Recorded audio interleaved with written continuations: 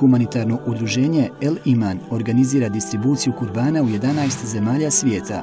Humanitarno udruženje El Iman, naša djeca, naša budućnost. Donirajte svoj kurban danas.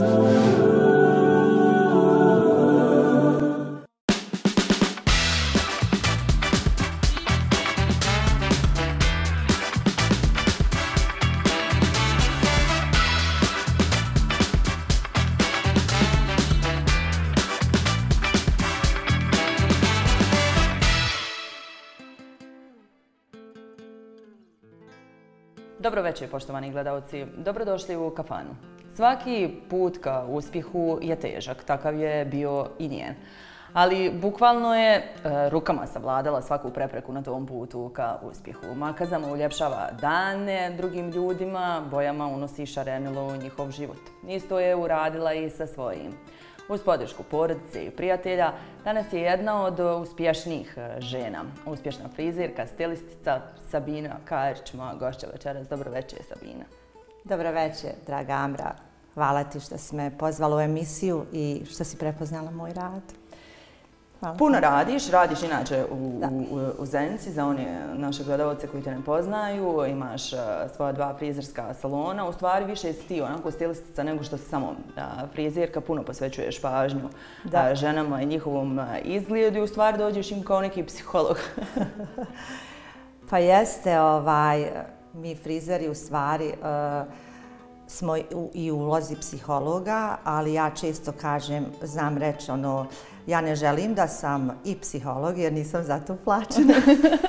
ali dobro, to moraš biti. ali psiholog jesmo iz razloga što ovaj, mi kad predložimo adekvatnu frizuru, adekvatnu boju, kad saslušamo zašto treba da se promijeni boja kose, frizura, zbog njenog, ne znam, dnevnog kontinuiteta rada, treba je neka lakša frizura. Mi iz tih rečenica dosta saznamo o toj osobi dok radimo analizu i konsultaciju, onu prvu prije šišanja i farbanja. Samim tim mi znamo prič tim klijenticama na način da predložimo ono što je njoj najjednostavnije za održavanje, a uz to što će joj podići samopouzdanje, iz tog razloga nas smatra i psiholozima. Nije to ko prije u onom smislu da se prepričavaju životi. Da. Ali dobro, ima i toga. A ima, a ima dosta i toga. u neka četiri Ste u stvari i izbor informacija i psiholozi yes. i svašta se to dešava i prostor, onako lijep za druženje. Znam da negdje, ja mislim, istraživanja neka pokazuju da je ženama nekad e, dobra frizura kad izađu zadovoljne iz salona, znači kao neka terapija kod, kod uh, psihologa, bitno je da izađu onako zadovoljne, sređene, pune sebe, ali ne da. mogu to uraditi bez frizera koji zna da prepozna ono šta, između onog šta klijentica u stvari želi do onog šta je u stvari moguće izvesti. Da, šta je moguće izvesti, šta joj odgovara. A, pa naravno, zato što mi možda gledamo širu, širu sliku. Osim onog uh, kako nam uđe u salon klijentica, znači uh, mi vidimo na njoj to njeno samopouzdanje, ili potištenost, mi vidimo e, kad, tu, kad je alarm za neku promjenu. I ovaj, zaista može da promijeni frizu, dobra frizura, dobro šišanje i boja. E, sam pogled e, žene same na sebe, ona može da dobije samopoznanje od čega krene promjena, pa nisam jednom doživjela to, da, da krene da ulaže u sebe da, je, da postaje svjesna koliko može, promijeni kompletan outfit, da. počne da se bavi nekim aktivnostima, pa čak i volontirskim, nema veze, samo da se druži, da se iščupa iz onog u kojem je, u kojem je sad trenutno stanje. Mislim da je frizura pokretač. Da, jeste. Ali nisi ti stala na frizurama. Voliš ti njih i dalje da središ. Da. Stalno da. radiš puno i ti na sebi. A, konstantno se edukuješ. Edukuješ i druge mlade cure, djevojke i momke koji žele da se bave ovim pozivom. Jer na kraju krajeva nije više šišanje, samo puko šišanje, rezanje kose. To u stvari postaje a, jedna vrsta umjetnosti. Da. Da, da, puno edukacija sam ja prošla i uložila jako, jako puno u sebe i mislim da je to jedini put ka bilo kojem a, a, uspjehu, ako se to može nazvati u našoj državi, stabilnosti u poslu. Ovaj, zavisi šta ko smatra uspjehom. Meni je to da sam sretna u poslu u kojim radim, da imam stabilnost, da mogu da svoju djecu školujem i da, ne znam, priuštim svojim poslenicima ono što oni zaslužuju. Ovaj, dakle, jako puno znanja je sam eh, dobila tražeći ga po cijelom svijetu, ono, ne, nevažno gdje je šta. Sad imamo mogućnosti online edukacija, dosta tu nismo mogli, morali smo sami otići. Eh, one uživo edukacije, workshopove moramo napraviti, ne znam, kod određenih majstora, ok. E sad to znanje ja sam, sam odlučila da, da prenosim drugima. Već 20 godina radim sa mladom učenicima iz škole i mogu ti reći da sam puno zadovoljna šta sam napravila ovaj, u tom smjeru, to me ispunjava i mislim da će to da je to ono što želim da ostavim iza sebe, ovaj, znanje kojima se drugi koriste, znanje koji drugi eto, od čega žive.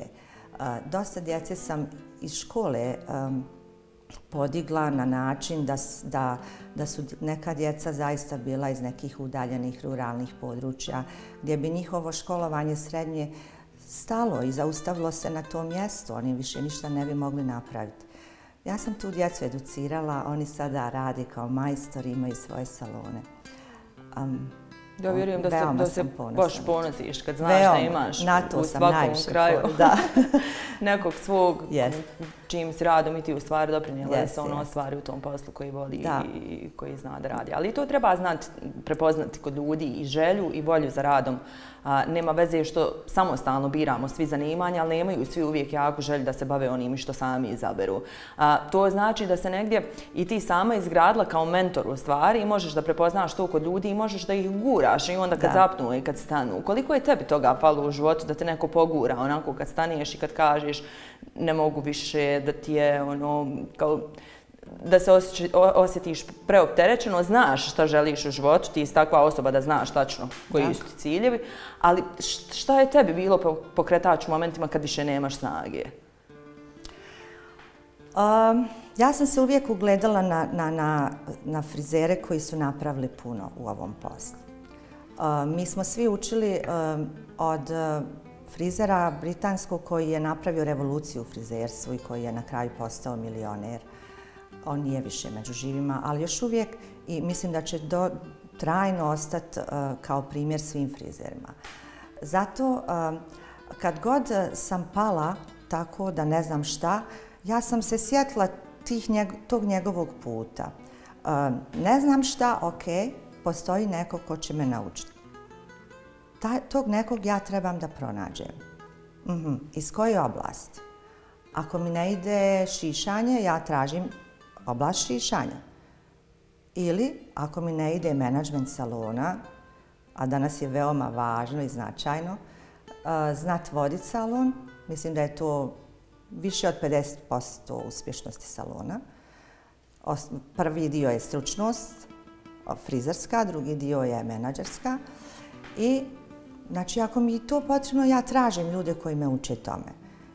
Imam akademije iz Zagreba, iz Rijeke, koji, kojima sam ja stalni gost.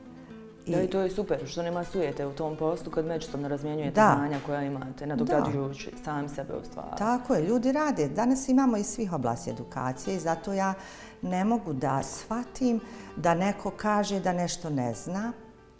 Uh, moj tata Rahmetli, uh, koji je isto bio poduzetnik, moji, moji roditelji su bili poduzetnici, Mm, možda sam ja prve te korake poduzetničke i od, sigurna sam da sam od njih pokupila. On je uvijek rekao, ne znam je, neću. Jer ako, ako želiš, ti ćeš naučiti i značiš. A eto, onda sam ja samo još nadovezala sebe na to um, da ako nešto želim da napravim, ako je to napravio barem jedan čovjek na svijetu, onda mogu i ja ne razumijem da tu treba doći do povlačenja. Ono, bojim se, šta znam, bojim se, ali ću preći prepreke. Da. Čak i do toga postoje učenja. Ako se bojiš, ljudi te nauče da se ne bojiš. pa, pa za sve imaš ljude koji prodaju svoje znanje. Ja. Jeste, i koji, koji ti mogu biti koji ti mogu biti podrška, da ti pomognu. Da ti pomognu, da, da ne, ne vjeruješ dokle dosegneš. Da, ali je to bitno u stvari, nemati problem sa egom, nemati problem sa sujetom. Mnogo je danas, recimo, da. kod mladih ljudi se to primijeti da ne žele da pitaju, da uzimaju da. znanje od nekog. Nekako previše očekuju da im se sve servira na gotovo, da. da njih neko vuče za rukavi, da im govori kako da rade posao koji su izabrali. Međutim, oni su ti u stvari koji ukoliko žele nešto da naprave od svog života, trebaju da vuku druge za rukavi, da traže da. to znanje, ako žele da, da budu uspješni. Da, da, upravo e, mi radimo s mladim ljudima i vjeruj, vjeruj Amra da se sada poduzetnici, odnosno mentori, ljudi koji imaju učenike, mi se učimo da radimo sa novim generacijama. Ne samo mi, nego i profesori srednjih škola. Ja sam nedavno prošla ovaj dva ciklusa mentorske te obuke I za to. generaciju Z. Pa mislim, ono, dođeš do zida, ne znaš kako da mu probudiš želju za učenjem i onda kontaš pa mora postojati neko ko to može da, da te nauči. Sreća je moja pa su mene pozvali iz privredne komore za Edo kantona jer sam ja imala najveći broj učenika koji je prošao kroz salone. Oni svi nekako rade. Pa sam eto uspjela i tu ovaj mentorsku obuku napraviti i stalno moraš učiti jednostavno. Onda je zeda, vidiš, ali to učenje e, ti daje mogućnosti za napredovanje. Ti to više sama ne diktiraš. To ti ljudi sami serviraju. Jer ti si napravila mentorsku obuku, aha, onda je Zeda, um, Zeda, Zedo kantona, razvojna agencija, njima je trebalo, trebali su da um, imenuju mentore za 11 oblasti, počevo od tekstilne, industrijske, tamo ovam, svi koji imaju učenike. I onda su mene to imenovali za mentora, za start-up, za Zedo kanton, za našu profesiju. A to znači da ja to radim uh, volonterski. Da svako ko otvara salon, recimo na Zedo kanton, može da se obrati Sabini, da pita Sabinu kako, šta i dobit će besplatno to. I ako me pitaš koliko me je njih zvalo, to su ti mladi koji misle da sve znaju, samo jedna osoba. To to, to, to je nevjerovatno. Ja da. znam to u našem poslu. Da. onda mi se čini kako dolazi novi i mlađi ljudi sve im je manja zainteresovano za taj posao. Još da. to ljudi koji su već odrasli da. u ovom poslu, završili su fakultete, neki su i magistri iz ove oblasti, ali nemaju volju i želju da rade to. Ja. A nijedan posao, ja mislim da se ne može raditi ukoliko nema bar bogdicu ne, ljubavi a, prema njemu i neke želje da te, da te vuče da to radiš, nego samo da odrađuješ posao i to se vidi na kraju i onda nema ni tog unutrašnjeg zadovoljstva, ni nekih pozitivnih rezultata m, rada. Da. To je super, možda neko nije ni znao u stvari da, da, da se može obratiti. Ovo je lijepa sada poruka za u Zenci iz područja Zedo kantona da, da, da te mogu pitati za savjet. Možda neko da. planira da otvori salon ili da krene negdje u svoj biznis i onda je uvijek lakše kad imate da. se s nekim posavjetom. Imaju svjetlo na kraju tunela, ja to nisam imala. Ja sam otvorila 94. godine u vrijeme rata i ovaj, sama se... sama Kako je se... izgledalo to? Kako si uopšte krenula u tu... Oh, avanturu, da tako Zanimljiva priča. to ti je vrlo zanimljiva priča. Ona, kad, ja, kad ja prepričavam svojim učenicima da im bude motivacija za dalje, za budućnost, oni nakon toga možda pola sata ne progovore. Ovaj, zato što je malo i emotivna, a i motivirajuća je jer sam pokazala i pokazujem da stvarno sve možeš kad imaš veliku želju ovaj posao prvo moraš voljeti, pa imaš želju da, da ga maksimalno radiš i postavi te postulate kakve, kako treba. Moj najveći postulat u, u moju, mom poslu je pošteno rad. Pošteno. Znači, pošteno uradi i pošteno naplati. Nemoj sfušet, jer će ta žena vidjet, ne mora sama vidjet, pokazat će je neko drugi nemoj naplatiti ništa za što nisi siguran da je pravo dobro. I evo, već 28 godina od te 94. nikad salon nije ugašen. A kako je krenulo? Znači, um, moji roditelji Rahmetli su bili uh, privatnici. Radili su u Njemačkoj u ono vrijeme 60-70-ih, tamo sam se ja trebala roditi. I mama je došla, mama Rahmetli, moji roditelji Rahmetli su preselili, ali s velikim poštovanjem pričam o njima jer su naš četvero izveli na selamet i stvorili nam a, taj poduzetnički duh i svi smo uspješni u svojim poslovima. A, mjesec dana pred porod su se ovamo vratili otvorili kafan. Gledaj sad ovo, ja u kafanu s tobom pričam. A i nismo vala odavno. da, nismo odavno. Znali smo da, znali smo nekak. Ovaj, i znali smo se zezat o, najljepše priče, ono kad ti, ti, kad ti najavljuješ emisiju, najljepše priče se ispričaju u kafani.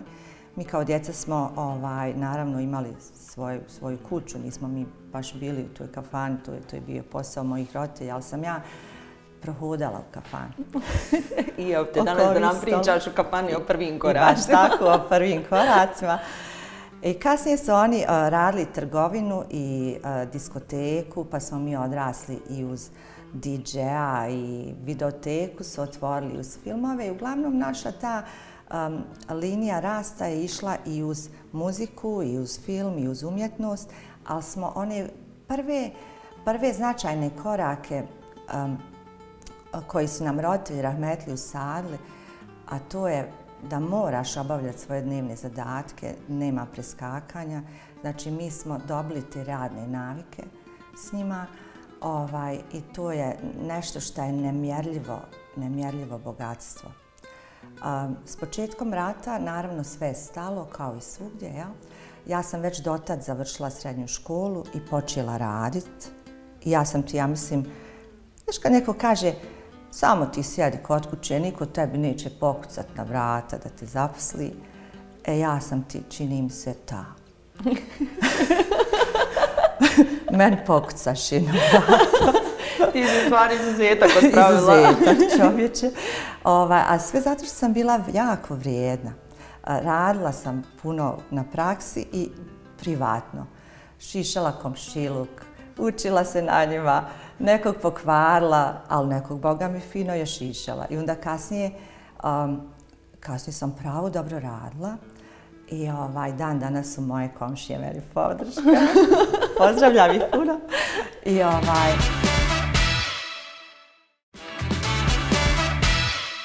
Došli smo do faze kad, kad hoćeš nam ispričaš kako si od, od da, da. to, kako si to mhm. -huh. naučila u stvari, vježbala, sve došla do momenta da, da otvoriš vlasti da. Da. Ja sam se zaposlila faktički Zaposlila sam se u salon gdje su mene pozvali da dođem na probni rad. E, dobro, kako? Kao mjesec dana probni rad, ona druga frizerka, kolegica, ima pet godina iskustva. Sad ja gledam u gospođu, pa dobro, ču mene pozvala, ona pet godina radi u salonu. Ja friziram s kesicom po komšilku. Ali eto, Nisam sujetna nikad bila, ja sam tada otišla da vidim koliko ne znam. Hajde, koliko da vidim koliko ne znam i da se dalje učim. I eto, tamo ja ostanem da radim, jer su se gledali mnoge stvari, odgovornost, ne znam, osim kvaliteta rada, sve drugo.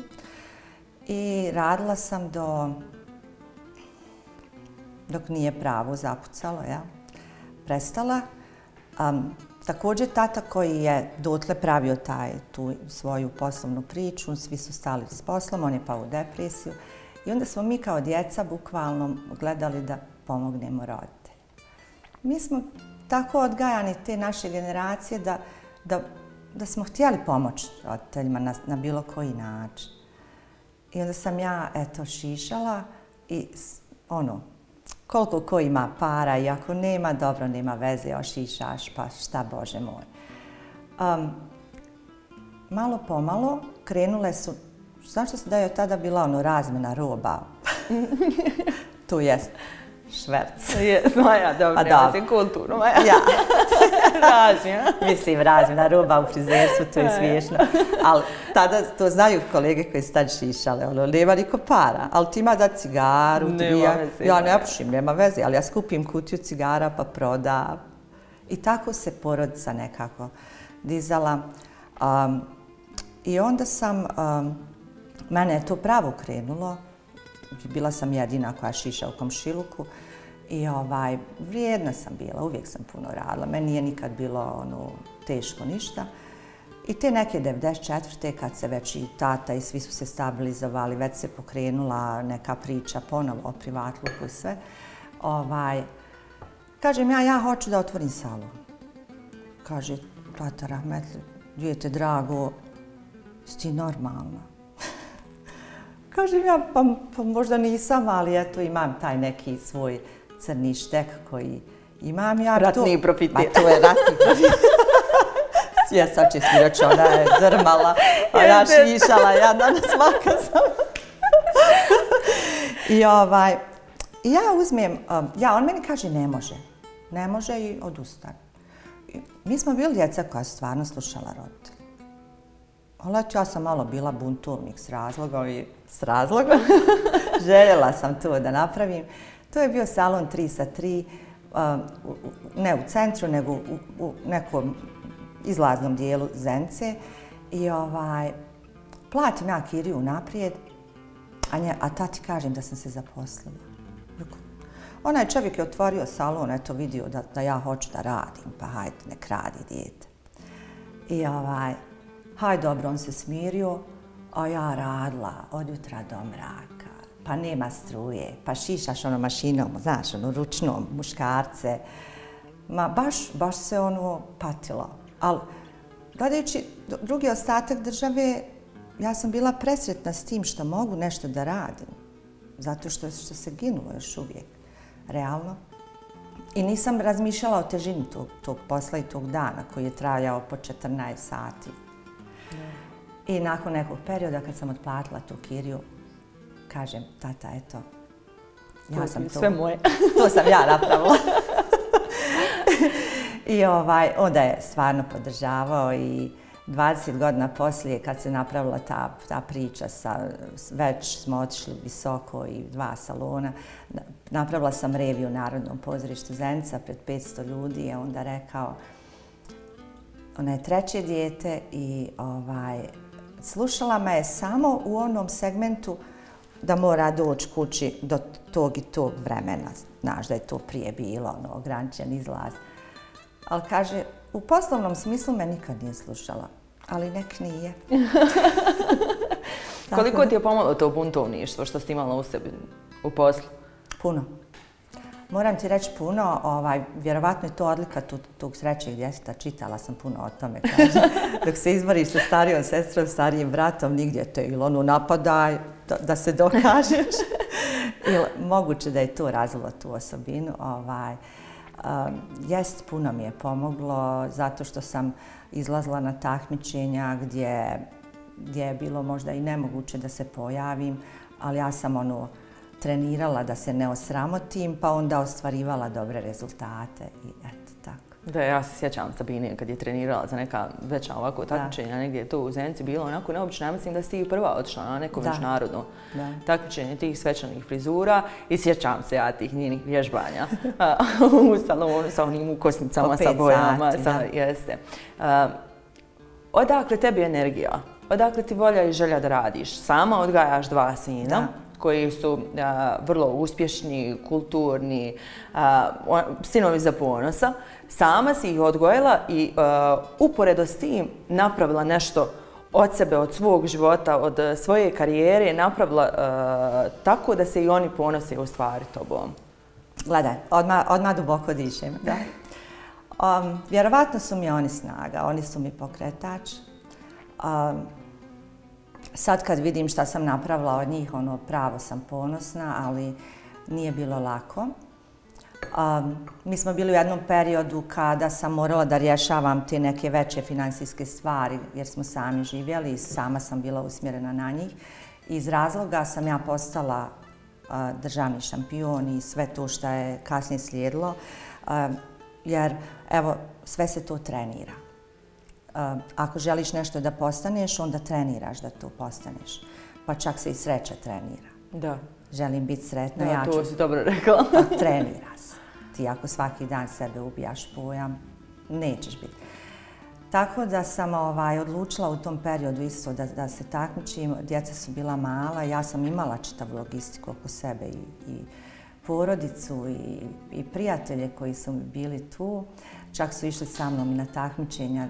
I djecu sam zala voditi na takmičenja. Uzmem sobu do sebe da su tu. I evo, hvala Bogu, ovaj, uh, dobri su. Jedan završava sad, ima još diplomski fizioterapiju. A, mlađi isto upisuje, njeg znaš dobro, sad upisuje menadžment. On je, znaš i sama, uvijek nekako oko tog salona vrtio se i... Da, on je u stvari odrastao u salonu. Odrastao, Sjećam kad je bio mali, jeste i uvijek ga je to zanimalo ga je u stvari to što ti Tako radiš. Je više nego starijeg sina. Jes, jes, jes. on je onako loptu ganjao, On je bio futbal, sportista. To jeste, sportista, dok je Mers onako, on je yes. bio tu uvijek u salonu, da on yes. to isprati i dotiraje sve. Ja, I zna, i zna izmisliti svašta, nešto što može da proda. Njemu je tu naj, nešto najvažnije. I kao malo dijete govorio, ja ću ti biti direktor. Znači, ja kaže, šišac, ja ću tebi biti direktor. Da znaš, Merse, da sam pitala ja za tebe zašto te nije dovela, rekla je da bi je nervirao sigurno da je određuješ da ću pričat. to, pa govorio, mama, nemoj da bi to rekla, evo ovo sad, nemoj da bi to rekla. Jeste, eto, znaš da sam ja pitala za pa tebe, znači, nije do mene.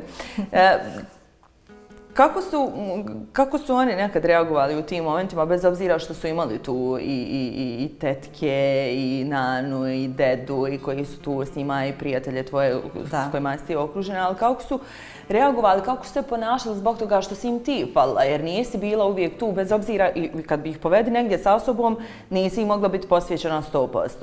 Da. Pa imam jednu anegdotu ovaj, vezano za Mersa, eto baš je on, on nekako Eh, Eh, imala sam gostovanje na televiziji Zence, bilo je uživo i on kao mali kaže u dnevnoj sobi snimali su ga tad. Izvadi mi mamu iz televizora. Eto, to je. To je ta želja. Ne mislim ja da sam ja puno ovaj, izbivala uh, iz kuće. Uvijek sam imala radno vrijeme, sjećaš se.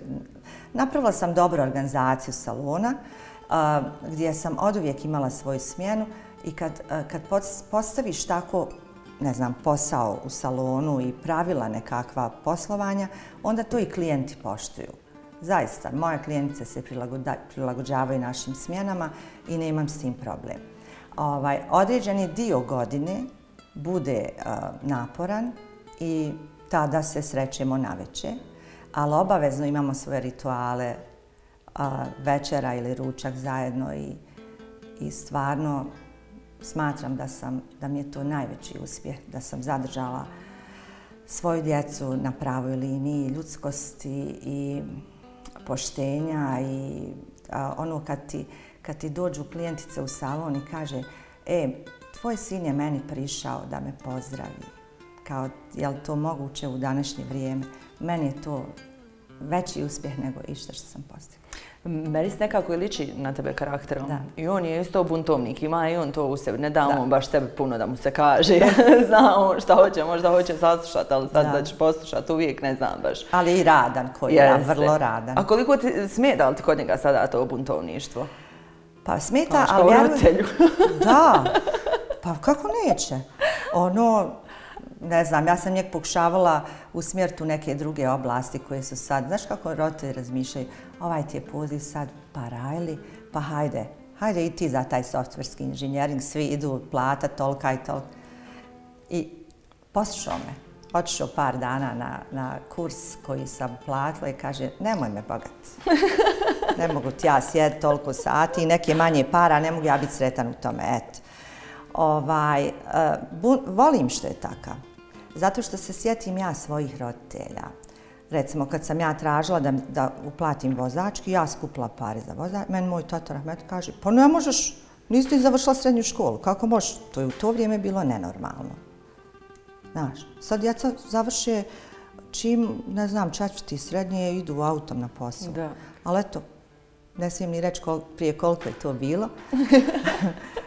I ja sam sama uplatila vozački. I onda sam servirala taj, uh, njima kad su imali neke goste, e, sla, kod nas slatka ja položila testove. Su njih dvoje, rahmetli, ovako sjedli. Šta će, veli, sad ako se šokiraju, ispašće nisu znali. Znali smo, raduj se zajedno, česti taj šuti. E, takav je i on sad, eto. Ali ja sam gledala da ja to zaradim. Ja nisam dijete koje koje je tražilo ovaj, od roditelja. Naprotiv, mi smo gledali da roditeljima pomognemo. Možda su tada to, te generacije, te ratne, to sve ne znam. Ovaj, ali i moja djeca naravno imaju svoje obaveze i oni gledaju da što više pomognu i evo sad je Meris u salonu jednom pa će u drugom gleda stanje robe, šta treba naručiti, Elman isto šta treba, banke, knjigovođa. Mi smo podijeljeni poslovima. Ovaj, ali eto, ne znam, pomažu, pomažu, maksimalno pomažu. Da, u stvari, samo si prepisala ono kako ste vaš četvro bili kod roditelja, svoji tako su to prebacila. Dobar je to recept, samo što je vrlo teže to sad sprovesti zbog utjecaja društvenih mreža. Znaš, mi smo imali prije vrijeme koje smo provodili s roditeljima, kad smo svi gledali film zajedno. E sad je teško uhvatiti jednu porodicu na, na okupu, da gledamo film. Ono, super je, ručali smo, šta hoćeš sad? No. Idem ja. Svak svoja posla ima. to. E to, kako ste bili svi složni kod roditelja, tako ste i sada, kad mi nažalost više nema. Da. Čuvate se, pazite se, sestre su ti uvijek tu, da. na dohvat onako ruke. Brat isto. Nikada, jeste, brat isto, nikada niste jedni bez drugih. Ne. Ovaj, podržavate se u tome što radite i zato na kraju krajeva vjerovatno jeste uspješni svi upravo zbog toga. Pa kako nismo, gledaj, moja mlađa sestra radi kod mene, to znaš. 26 godina i ja sam njoj već uh, tada, uh, uh, kad su mi roditelji nju dali na amanet, ono, pošto je isto bilo vrijeme rata kad je završila školu poslije rata, pa daj nek ti pomogne, nek, nek zaradi malo za, za izlaske. I onda se ona zaljubi u frizerstvo i vrsna je majstorica, vrsta. Ovaj, nije nikad poželjela da, da ima salon, vidi koji su tu ludorije od stresa. Ona ima, ona ima bukvalno satisfakciju da je šefca salona. Ja u taj salon odem kao gošća jer je sve u redu. Ne trebam sinovi to obaveš da nadgledaju šta fali i sve. Ovaj, sretni smo, radimo revije zajedno. E, a starija sestra je odnedavno otišla isto uh, u modu i ona radi meni recimo haljine za revije. Stilistica je i radi fantastične stvari. Samo što će se tek čut za nju. Tek je počela. Ja se sjećam kada si išla na ovo takmičenje, to je bio, malo je problem, to ne, ne znaju ljudi, koliko je problem spremce za takmičenje. Jako. Nije to samo da, da, da, si onako vrstan frizer i da osmisliš frizuru koju ćeš pripremiti za takmičenje, osim tog vježbanja ima tu još popratnog materijala. Da. I od e, stiliziranja haljine koja da. će ići uz djevojku koja nosi tu frizuru da bi frizura došla do izražaja, cipele, sve usput što ide performans koji ide da. a, u sve to. Ali uspjevala si sve to sama kada niko nije. Da. E sad, kako je u tom momentu uh, okolina reagovala? Jesi li imala podršku kolegica u tom momentu ili su to doživljavali kao neku vrstu ludosti jer Zenica je onako poprilično specifična sredina. Ljudi se vrlo lako opuste u onome što rade i onda neću reći da su polijeni ljudi, ali nekako se lako zadovolje onim što imaju u datom momentu. Pa su rijetke osobe poput tebe koji idu dalje, traže dalje da uče, da, da se nadograđuju. Nego, eto, nekako, hajde, nema veze, evo, do, do, došli smo do ovdje, pa neko ostane ovako kako jeste.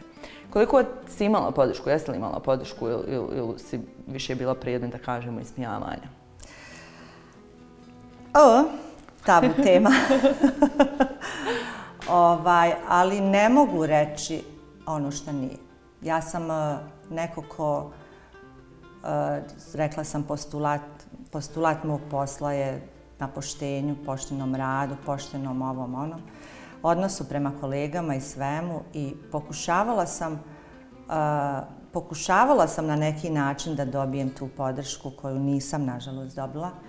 Ovaj dijeleći tu znanje neko besplatno koje je jako skupo, stvarno naš posao je onako kad ti gledaš šta je bit frizer, aha, dobro, nije ništa ako ćeš da radiš za neku prosječnu platu od koje jedva preživljavaš ali ja nisam nikada htjela da ni u čemu budem prosječna. To je moj inače nekakav, da li problem zbog sredine u kojoj živim ili je to nešto što je jako dobro. Mislim da je uvijek jako dobro, pa onaj ko, ko voli da to prati, ok, ko ne voli, žao mi je zato što bi mogli da, da i istovremeno i oni napreduju. Evo, ja sam neki dan bila na jednom seminaru i htjela sam, prišla sam sama kolegici koja je napravila jako puno u frizerstvu. I to uvijek radim. Bilo gdje da odem. Evo, pozovu me recimo na event, prezentacije, ne znam, nove kolekcije u Sloveniju, ja budem jedina iz Bosne. Ja se upoznam s tim kolegicama jer uh, su to sve jako uspješne frizerke. Ja volim da čujem njihove da. priče jer uh, razmenjivanjem tih informacija uh, i ta blizina sa uspješnim ljudima ti može dati samo dodatnu energiju, znanje. I zato mi nikad nije bilo jasno zašto je to u Zenici tako. Um, ne dam ja to reći, ja se nekako borim protiv toga. Ali, ali to je činjenica. Jeste činjenica. Kad bi, naravno. Evo ja ću reći, evo to je činjenica. Usta, evo, evo upravo zato što si... Da. Možda sam ja blaga, bojim se, ne bojim se reakcija kolega, ja znam gdje sam, šta sam, mislim, navikla sam na, na neke stvari, ali recimo ako kažem da sam ja uložila u haljinu koja je, s kojom smo otišli na svjetsko takmičenje, hiljadu maraka, i da nisam tražila sponzora, uh, upravo to se smatra ludošću. A opet ja to gledam s druge strane. Ako ja imam uspješne salone, haj Boga ti mi reci je li normalno da tražim sponzora da. za tu haljenu. Jer ja znam to znanje naplatiti. Meni bi to bilo ono, um, van onog na što sam ja navikla. Ne bi bila dostojna sebi ja volim biti dosta na sebi. Da, ali ta haljina je u stvari ulaganje u tebe samu? U mene samu i šta se desilo s tom haljinom, ima ta priča. Um, djevojka koja ju je nosila Azra moja je uh, bila model izuzetan tada u Bosni i ona je, kad smo završili rad, bila slika na nekih dva, dva i po sata. Bukvalno je ono, preko ljudi, fotografa, meni govorila, jel, ja sam gladna, pomozi mi, ali oni su nju okružili. pomozi mi. A ja sjedim dole na tepihu u Parizu i jedim salatu. Mislim da mogu joj pomoći. Sad je ona tu glavna, jel, zvijezda. Ovaj, tu istu haljinu su kopirali naredne godine koreanci. Ali istu. Oni su je napravili istom. I bukvalno su na, e, naštimali modela da se slika onako kako smo mi Azru. A prije nek što ćemo otići u Pariz, smo imali časove s fotografom, ništa ja ne prepuštam slučaj, kako da je postavim da je slikamo, a da bude najefektnije.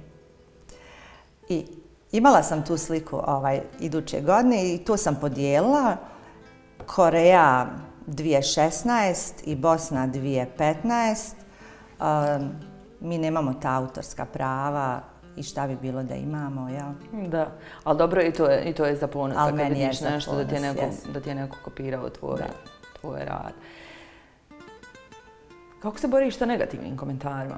Kod nas čovjek, i to nije samo više karakteristično za Zenicu, nego, nego za generalno. Balkan, ja mislim generalno, što je uspješniji, podložniji negativnim komentarima ljudi da. kojima je okružen. Pa sad će ti na ovom videu biti ovaj, šta ova palamudi, ko da se to može u Bosni. Ili će reći, kad je žena, kad je žena, e, to je dobro pitanje. Kad je žena a, u poslu i kad ima šta reći o poslu, onda će joj reći, aj, oj, vidi je debela. Jeste, Nema šta drugo. Da. Ili će reći, ovaj, pogrešno izgovorila tu riječ, ne znam, akcent je na nečem drugom ili je nepravilno izrečena. Nažalost je tako, ali um, imala sam ti ja velikih problema s tim ranije. Dok nisam sama dosta upoznala uh, društvene mreže i uh, njihovu moć. Šta rade botovi, šta rade avioni. I onda ovaj, nekako u zadnje vrijeme kad nemam taj neki hejterski komentar, onda ne mislim da, da sam na dobrom putu. Kontaže su dobro e, nešto uradila. Bukvalno. Što mi je, ne radimo dobro, ljudi, dajte sastanak. Ovaj, ništa to marketinga nam ne valja, nešto ne radimo, dajte. Nedavno smo imali gošću ovdje, naša draga džudistkina Larista Cerć, pita me ja isto kako se nosi sa tim negativnim komentarima i ona kaže, no kad me je to povređivalo, pa odijem, ono, kao postignem super rezultate i to sve, onda me hejtaju ljudi. Da. I onda sam unekad ovo shvatila u stvar, pa ako će nekom uljepša dan da me napiše nešto negativno, eto, brate, neko je lijepo isto i nema vese, kao mogu da se nosim s tim. Jer su to uglavnom negdje ljudi koji kojima je dosadno, mislim, dok yes. imaju vremena jel, da sjede i da pišu, sigurno im je dosadno, ovaj, su negdje, i, mislim, čak i ispod prosječne. Uh, vidim se i po, po, po, po komentarima se može procijeniti, naravno, mislim, na stranu oni koji zaista imaju, imaju nešto reći, za reći. Jeste. Koliko ste sinovi pomogli u tim društvenim mrežama da se prilagodiš tome? Jako puno. U tom vremenu. jako puno. Znali su mi otije telefon iz ono, sad ću ja ovo. To je bilo na, u tim početcima, dok ja nisam skontala stvarno šta ne trebam da radim. Ovaj, ma sad ću joj ja odgovor, a onda Merz dođe, vamo daj, ište kaje, gasi sve. ovaj, pa znaš, oni su puno više u tom takvom okruženju, oni valjda, oni valjda tako i funkcionišu, da jedni druge možda sabotiraju, a ovi tu s osmihom se nose s tim. Mi smo generacije kad smo bili valjda iskreniji prema drugima, ova, jedni prema drugima i očekujemo to i sad. Mada je nemoguće, stvarno. Evo, neki dan sam imala komentar na, jedan, na jedno moje šišanje od osobe koja je tražila kod mene posao. I sad, razgovor za posao, ona nema frizersku školu. Okej. Okay kako misliš raditi kao frizerka? Pa ja znam sve. Aha, dobro. I baš ta osoba meni napiše da nisam dobro vrat uradila. Vrat. Javno. Ja sam to ostavila. Ostavila sam. Kažem, kolegice, ima ovdje toliko dobri stvari za vidjeti. Osim tog vrata. Mislim, vidiš ko je, pa ne možeš da vjeruješ. I da sad ti to napišeš, o, ovaj, ja bi se spustila na njen nivo. Ma ne želim. Mislim, nemam, nemam toliko vremena, Amra. Moj, moj jedan dan je stvarno rasprodat. Ja radim na akademiji, ja radim, eh, imam određene sate kad radim na, u salonu i onda imam sastanke sa, sa svojim osobljem, treninge sa svojim osobljem, da do, dovedemo do savršenstva naš sistem rada. To mi je prioritet. Manje je bitan komentar i dobro je ta kolegica, ta tvoja gošća, džudiskinja, to i, i rekla. Ako je čini sretno, da. Okay. Ajmo malo pričati o toj akademiji. Uh, uh -huh. I tu se negdje osmisla ta jedan novi koncept, da tako kažem, akademije. Uh, obučavat ćeš ljude, međutim, obuka ne traje dugo to su već uh mhm. -huh. školovanje, jel tako, mhm. frizer, uh -huh. pričali smo malo prije početka emisije pa smo to otkrila. Kako će izgledati ta akademija, kako je koncipirana u stvari? To je prva akademija u Zenici? Nije. Ja, ja u Zenici jest, u Zedu kantonu jest. Ali je, ima još četiri akademije u Bosni koji mhm. već, koji već uspješno i dugo rade i koje jako poštujem. To moram da kažem. Ja nikoga zaista ni u svom salonskom dijelu ne smatram onu konkurencijom da ga ne volim nego stvarno uvijek mislim da svi imamo svoju na faku i svoju jel, zvijezdu koja ne trebamo, e, trebamo razmjenjivati iskustva i, i, i napredovati. Kad se tiče akademije, ideja mi je došla ovaj, zbog toga što me sve više frizera zvalo da, da ih educiram u nečemu. Ne ide im balaž, ne, ide, ne, ide, ne idu im pramenovi šišanje. Um, a da to dobiju na način da shvate priču. Imamo mi puno mentora, imamo puno i profesora za koje znamo da ne znaju prenijeti. Jel, da. Teško e, student ili učenik shvati lekciju. Znači, nešto tu treba mijenjati. Pristup tom učenju frizerskom se mora pojednostaviti e, van onih knjiga koje su već do sad izdate, oni su to sve već pročitali jer su završeni frizer. Onda sam ja napravila koncept, ok, pokrenut ću akademiju, ali ću napraviti koncept koji e, pokazuje kako mi to radimo. jer kao mi imamo uspješnu neku priču za sebe i taj kontinuitet u radu, što je najvažnije. Mi nemamo sezonu, kao što to mnogi imaju. Um, mislim da ovdje ima jako puno kapaciteta, samo treba da se promijeni sistem rada u salonima, da imaju konstantan posao. Ovaj, I onda sam napravila tromjesečnu edukaciju, akademiju, iz razloga što, što, se, što smatram da ima osoba koji brzo uči, brže u odnosu na neke druge. I zašto bi sad oni ispaštali i nešto a, pohađali šest mjeseci, ako mogu da završe za tri? A isto tako ovima kojima fali dodatno, onda produže još tri. Da. To mi je neka super stvar. S tim što smo obuhvatili bukvalno sve. Da bi jedan frizer bio uh, uspješan frizer, on mora da vlada odličnom komunikacijom. Znači, prvo to, poslovna komunikacija, poslovni bonton, to je nemoguće važno u salonu. Osim svih stručnih eh, dijelova, šišanja svih drugih dijelova, mi imamo i VIP dio koji eh, uključuje fotografa, kako da uslika svoj dobar rad, kako da ga postavi na društvene mreže.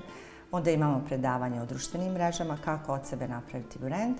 I imamo um, predavanje s, uh, sa doktorcom nauka, koja, Benjaminom Šaranović, koja je izdala svoju knjigu Kako pokrenuti svoj biznis. Ona priča s njima o tome kako da se oni prijave za svoje prvo radno mjesto, kako da napišu svoj CV, koliko je važno odgovarati na mailove, kako se pišu pravo. Mislim, to bi oni sve trebali učiti u školi, ali ne uče ja, zaista. Ne prati, ne prati obrazovni sistem. Ne prati uopšte. A nama vrijeme ide, na, traže se noviteti. Mislim, sad, sada je um, neodgovorno odgovoriti, ne odgovoriti na mail. Neodgovor, ti se smatraš neodgovornom da. osobom. I, ovaj, I onda ih na kraju uči uh, kako da, da se oni postave u salonu u odnosu na tim, u odnosu na svog šefa, jer to, to mladi trebaju da nauče. Um, da upravo ne očekuju ja sad želim ovo i ono, a ne mogu dati ništa još da. uvijek. Šta mi daješ da bi dobio, jel tako? Moraš znati svoju neku uh, situaciju sa znanjem. I onda objašnjava kako da se pokrene uh, svoj salon i šta ih očekuje na tom putu, kakvi su troškovi salona, da se ne bi zaletili da otvore tako mladi salon, jer je česta pojava da oni prvo otvore salon, pa se pitaju kako ću obstati. Da. Vjeruješ to? I onda čuješ feniranje na sve dužine, ne znam. Ja. Mislim. Da, to je to. Nije samo problem uh, u tvojoj branši. Nedavno nam je kuhar jedan bio ovdje isto koji isto tako pričao. Da. Uh, da se mladi ljudi prelako zalete da. Uh, u pokretanje vlastitog biznisa bez da imaju konkretan biznis plan i bez da traži bilo čiju pomoć uh, u pokretanju tog biznisa da se ne bi doveli do, do te faze peniranja za istu cijenu na sve dužine ili ovamo napravljenje pizza u Aščinici. Da. Ovaj, tako da, da, da je jako bitna i lijepa to poruka za mlade ljude koliko moraju da iskoriste to što imaju sada, što ti nisi imala kada si ovaj, krenula u, u, u, ovaj izazov koji se pokazao kao jako dobar.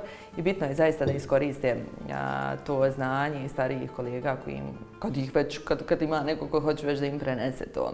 Da svestrana si svugdje te ima, puno radiš, razmišljaš li o tome kako će izgledati ti neki dan tvog odmora. Ja znam da i sad imaš taj luksuz, ovaj, došla si u tu fazu života gdje možeš sve priuštiti luksuz da kažeš zatvaram salon na 15 da. dana, a svi idemo na kolektivni godišnji odmor i da priuštiš sebi neki odmor iz tvojih snova u datom momentu i da se odmoriš i napuniš baterije, ali negdje dugoročno. Uh, vidiš ti se izvan salona, hoćeš li moći obuzdati tu energiju? Da ne radiš nešto sa strane, nego da kažeš, eh, evo me sad uživam, pa...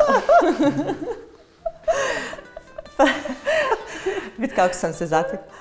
Pa, znaš šta, odmah mi je naumpala korona. Ono, mi zatvoreni, ja sam jedno tri lutke ošišala. Bukvalno sam imala lutku, vježbala svašta nešto i šišala.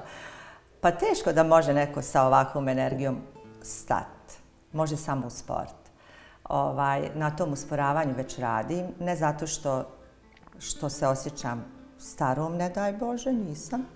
Ali e, mislim da zaslužujem da već malo usporim, jer rekla sam, možda i nisam, evo reći ću, e, imam jako dobar tim. Jako puno ulažem u tim e, i mi smo svi sretni zajedno i zato smo, i radi dugo godina kod mene, svi su učili kod mene prvo, prvo su iz škole dolazili na praksu i onda sam ih zapošljavala. Nemam nikoga ko nije bio kod mene, jednostavno svi imaju moj sistem rada. I onda mi dogovorimo, sami dogovaramo, šta ćemo s godišnjim? Hajmo zatvoriti jedan salon, pa ćemo drugi. To smo prošle godine. Uh mhm. -huh. Zatvorimo jedan, dok je ovaj zatvoren, ovaj drugi crkne radi. Svi se samo prešaltaju. Pa realno. Ovaj, I onda smo, evo, ove godine odlučili da idemo svi zajedno. I kad se tiče tog usporavanja, mislim, e, da, radim na tome. E, radimo sad na nekom proširenju djelatnosti, ali tu neću ja rad. Tu će rad, e, tu ne trebam ja da radim, ali će raditi to nešto za moje ime koje je već stvoreno. Da. I to ime koje se dugo godina stvara, kasnije onda dođe Um, na to da se može, može ovaj, unovčiti um, na način čak i da ne radiš. Zato je vrlo važno sve ovo što smo možda do sad ispričali za mlade, da je ta edukacija ključ, ključ svega. Da bi, da bi sad meni neko došao iz drugog grada na šišanje i farbanje, ja moram biti pravo, profesionalna i znači šta radim. A to ne mogu bez edukacija. To je nešto što bi voljela da svi počnu da primjenjuju i da se naša struka samim tim iz te niskobudžetne, kako je zovu, što mene baš ono, nervira. Zašto niskobudžetna ako može biti, ako se sam potrudimo, i cijenjenija i više plaćena. Pa jeste, ali to na kraju krajeva i zavisi od, od, od, od frizira, jeste, i koji dolazi u prvi plan. Da, da. Mi smo imali gosta frizira i ja mu kažem, dobro, s tim normalan šišanje 40 maraka. Kaže on, znaš ti ko je meni plaćao edukaciju u Londonu? Pa, pa nisam ja džaba išao. Pa znači, to je, ali držim tu cijenu godinama i svi to znaju. Tako. Šta, nekad sam i na gubitku, ali šta ima veze, kao to je ta cijena. I to mislim da negdje takvi ljudi, poput njega, tebe, a, ima još ima frizira i ovdje, jeste, u, u Sarajevu koji drže taj nivo a, frizerstvu i koji zaista od toga pravi jedan ozbiljan posao, biznis a, i, i, i, i daju taj umjetnički dojam kompletnom tom, tom, tom poslu. Jer ja znam još frizira koji su poput tebe, koji paze apsolutno na svaki detalj. Nije to da. više samo stvar frizure, nije stvar šišanja ili boje koja ne. je na glavi, nego svi ti popratni elementi a, koji idu u, u, u sve to da bi jedna osoba, jel, kad izađe iz salona, možda se sve to i ne vidi, ali ti detalji koji su sa strani, ali da bi izašla iz salona sasvim zadovoljna od samog možda uređivanja prostora Tako u kojem je. se nalazi, pa do svih ostalih stvari dok dođemo na kraju do frizure. da, mi tu imamo jednu osobu koja to radi, bukvalno. Ovaj, znači, sve se mora uklopiti da. u tu priču. Da bi se uklopilo, neko ima i novaca, ne zna. Zato sam i spomenula ovaj, taj mentorski moj dio, ali on se odnosi samo na start-upe. To je znači za, za neko ko tek otvara. Njima treba pomoć. Ovi drugi koji su već otvoreni i koji trebaju sami da ulažu svoju edukaciju, oni trebaju da znaju vrijednosti edukacije i ne trebaju da za nju žale. A, mi u salonima a, prvenstveno znaju svi već za naše šišanje i farbanje. Svi frizeri pretežno imaju svoje klijente koji to znaju da vrijednuju. Ali primarno ono na čemu mi radimo u salonima je osjećaj koji ti nosiš kad odeš od nas. Da. Osjećaj. Osjećala sam se opušteno. Nije mi niko sjedio nad glavom, nisam imala deset nafarbanih žena oko mene da oni ne znaju šta rade. Takav nam je sistem rada da imamo zaista mali broj klijenata u salonima i vodi se računa o kvaliteti kose i to nam je primaran cilj. Šarm je jednako zdrava kosa. Mi nemamo pomjeranje granica, mi ne želimo da radimo nešto što će oštetiti kosu ni za koje pare. To i kažem. Da, i u stvari, zato možeš da se pohvališ brendom koji imaš. Da, da, to je to. Da.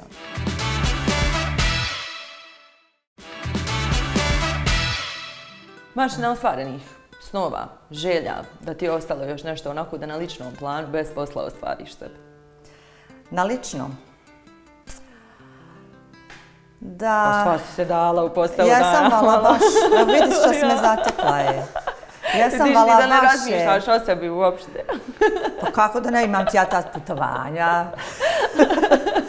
Dobro. Pa ima dosta stvari koje ovaj, želim da, da usavršim, a koje, koje volim, a to je a za koje nemam dovoljno vremena, to je to skijanje. Znači, godinama ga učim i godinama se vraćam opet na učitelja, na svog ovaj, nekog mentora. I što znam ostalo? Ostalo jesam zato što, što volim da, da radim na sebi.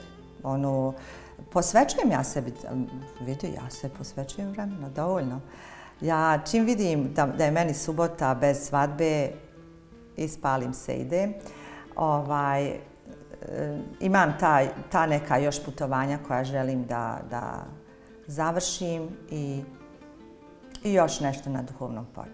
Moram te nešto još pitati za kraj. Uh, imam ja kamermana ovdje koji je u stalnoj postavici kafane. Ja mislim kako smo krenuli sa snimanjem sezoni. Aha. I uvijek kad su nam uspješne žene u kafani gošće, on kaže pa i uspjele su vjerovatno zato što su same. Nisu imale nikog da vuku Ola. za sobom. uh, prez, odmah ću se sad preznojiti. Da ti kaže. to je tema koja me boli, gleda odmah znoj. Ovaj, ne, upravo je duplo teži put. A, kad se gleda na svoj i pazi na svoj ugled, meni je jako bio bitan. A sve naše kolegice normalno su žene koje znaju da rade makazama i četku koriste i naravno e, intelekt svakako. Ali vjeruj da je puno teže dogovoriti jednoj ženi e, neke veće ne znam, projekte, e, nego sa nekim ko to već odobrava, nego ženi koja ima muža. Um, on dođe jednostavno i on samo nek tu sjedi, nek ona priča, njoj je lakše. Ne, ne smatram da je sad to... Um, bitno. Baš bitno. ali je poželjno. ali je u nekim momentima uh, poželjno. Ja sam ti sad skontala ok, nema muža, ali bare mogu imati menadžera. pa ta muška figura je tu. ovaj, I mogu ti reći, puno je lakše kako sam počela angažovati eh, menadžera da, da neke stvari sa mnom završava, jer eh, ne znam zašto ženu malo drugačije shvataju kad sama nastupa. Ja moram da ispričam šta sam sve postigla. Da. Ja moram da kažem to riječima, dok za muškarca se to zna. Pa zna se i za mene, uđeš malo, uđeš malo, vidiš šta je šarm napravio, ne znam šta. Ali, ne znam, puno je teže to ženi nekako.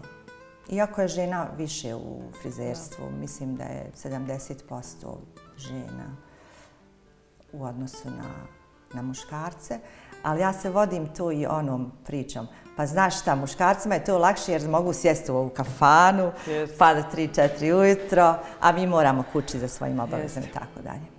Jeste, ali na, na, na sreću mijenjaju se i te stvari. um, jel, daj mi reci da jeste. znači, ako ništa mijenjamo na stilu. Da. Hvala ti, Sabina, puno. Meni je bilo zadovoljstvo pričati s tobom. Drago mi je što smo ispričali svoju životnu priču. Nadam se da smo negdje i pomogli odvažati negdje neku ženu da, da, da, da krene u ovu avanturu poput tvoje. Jedan korak na početku svakako nije lagan, ali isplati se na kraju. Da, da, vrlo se isplati i evo stvarno e, mislim da ima dosta žena u, u našoj državi koje mogu da pokažu svojim primjerom da mogu da drže konce i u porodici i u poslu ovaj, i da unose neke inovativne stvari u svoje biznise. Često ja to znam reći ovako.